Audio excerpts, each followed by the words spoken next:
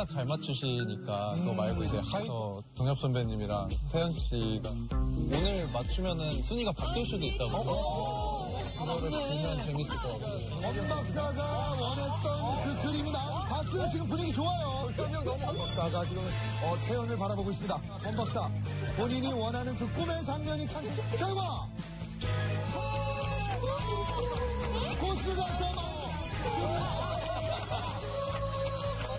되나요? 동점을 기록을 아이, 어, 너무 재밌어서 너무 재밌게 놀다 갑니다. 아,